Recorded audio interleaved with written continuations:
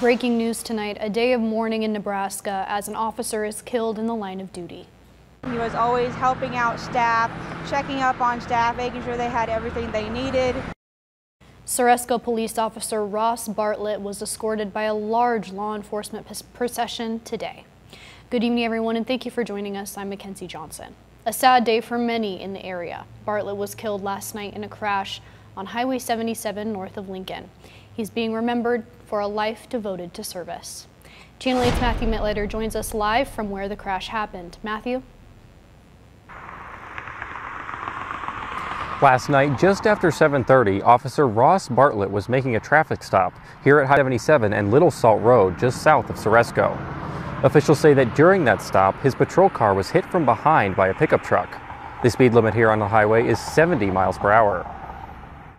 The Nebraska State Patrol says that Officer Bartlett and the driver of the Nissan Altima he pulled over were both inside their vehicles parked on the shoulder when the crash happened.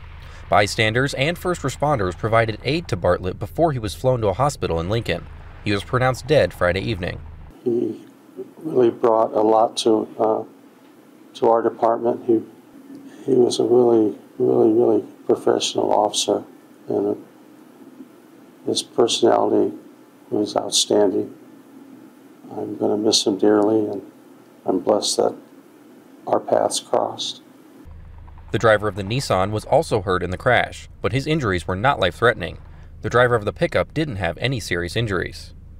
Bartlett had been an officer with Ceresco since 2017 and also worked as a volunteer firefighter for the town. On top of all that, he was an investigator for the Nebraska Department of Correctional Services. He also worked at several other law enforcement agencies throughout his career, including the Boone County Sheriff's Office, the Madison County Sheriff's Office, the Madison Police Department, and the Newman Grove Police Department. Corrections Director Rob Jeffreys says Bartlett was committed to his work and will be remembered. It's not just um, a loss for us standing behind this podium, but it's going to be a loss to a lot of the lives that he's touched as they've been part of the NDCS family. He was loved. He will be missed, but he will be forever internally loved by all. The State Patrol is conducting an investigation of the crash, which will be presented to the Lancaster County Attorney's Office. For right now, no one has been charged. Reporting in Lancaster County, Matthew Mittleiter, Channel 8 News. Thank you, Matthew. And as he showed in his story, flags are being flown at half staff for Officer Bartlett. Governor Jim Pillen ordered all flags in the state to be flown at half mast until Bartlett's burial. Pillen says, quote, I share my deepest condolences with the family, friends, and coworkers. And continuing our team coverage, a procession brought Bartlett's body to Lincoln from Omaha where his autopsy was performed. There was a big crowd out to support his family. We spoke with some people who knew Bartlett.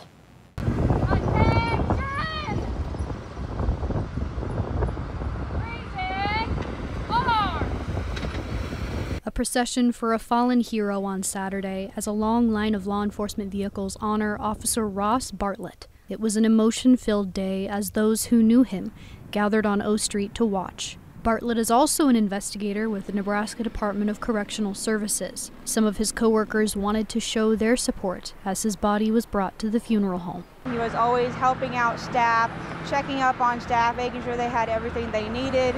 So we decided to come out here and show our support for Ross and his family. Here's a video citizen journalist Brian sent in to our now local news app of the procession. It was taken on O Street today as dozens of people watched motorcycles and police vehicles escort Bartlett. Edelman was there with several other coworkers who say Bartlett was always going out of his way to help others and was well respected by all who knew him. And other officials made statements today on the tragic death. Senators Deb Fischer and Pete Ricketts, Mayor Leirion Gaylor Baird, and Representative Mike Flood posted their condolences on X, formerly known as Twitter.